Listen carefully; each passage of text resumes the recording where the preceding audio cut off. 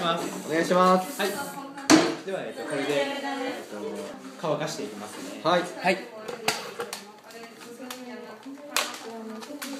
失礼します。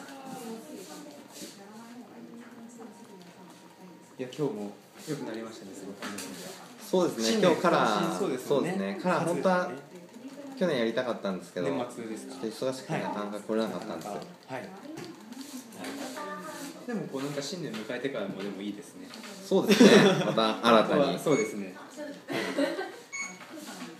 前回来られた時そうですよね。僕確かあの商品のお話をさせていただいたかなって。あそうですね。シャンプーとトリートメントでですよね。はい。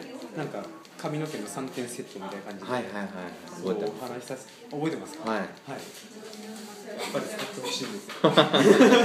変わらないんですよ。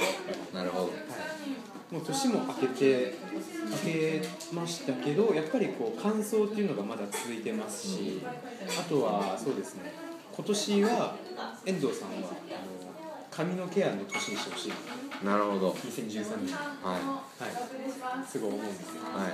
去年ちょっとできなかったところを今年はしていって、徐々にこう髪の毛の状態をまたさらに良くしていただこうかなってすごい思ってまして、はい。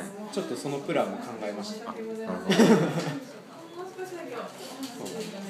ちょっと考えさせていただいたのでまずやっぱこう必要なのがシャンプーかなとはいはいシャンプーとクリームはいと使わせていただいたやつですね、はい割とあれですねふんわりとさせるタイプがいいですよねそうですね。あのすぐ滑れちゃうんですよ。ね。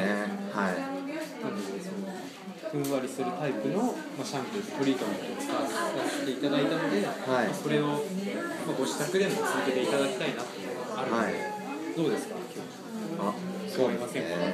今年始めていきませんか、髪のケアを、そうですね。はい、またちょっと始めてみようかしら。始めてみますか、はい。ありがとうございます。2013年はあれですね。はいもう来年につながるように髪の毛がいいよはい。はい、見させていただきます今年1年また。はい。はい。わかりました。よろしくお願いしますよろしくお願いします。はい。ありがとうございます。ありがとうございました。ありがとうございました